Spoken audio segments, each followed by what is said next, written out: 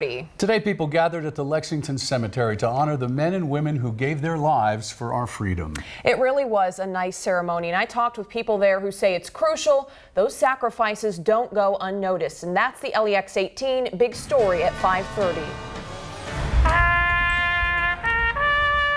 It's a solemn tune we've all heard before, but today we pay close attention to the meaning. They gave their service, gave up their life at home, and just went where they were called. 92 year old Russell Huffman served in World War II.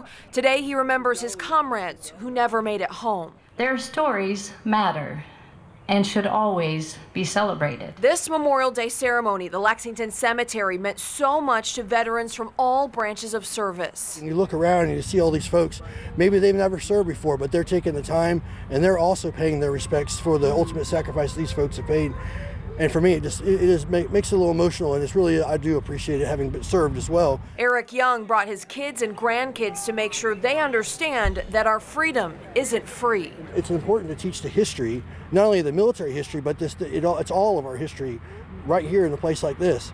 And if you can't take a time out once a year to teach the little ones something so important, you know, what does that say about us? Young's grandkids each placed pennies on some of the military graves to show the families that someone is thinking of their loved one and that the legacy lives on of those who paid the ultimate sacrifice. Respect on people who who died in the military or a war.